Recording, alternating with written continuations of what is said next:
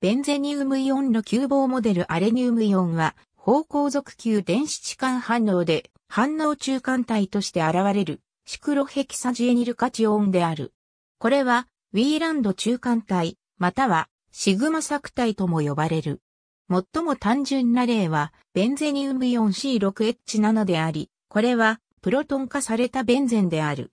アレニウムイオンは、方向属ではないが、静電化が5つの炭素状のパイ電子系で、非極材化するので比較的安定である。共鳴構造は次の通り。アレニウムイオンを安定化する旧電子材が存在する。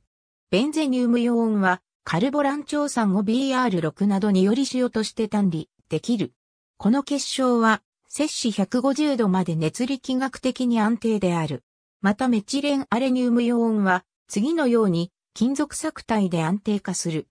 この反応では、富田で安定化した作体1がラップにより酸化されデュアチャット、ダンカンソンモデルの作体2ができる。次にメチルトリフラートの旧電子攻撃により、メチレンアレニウムイオン3ができる。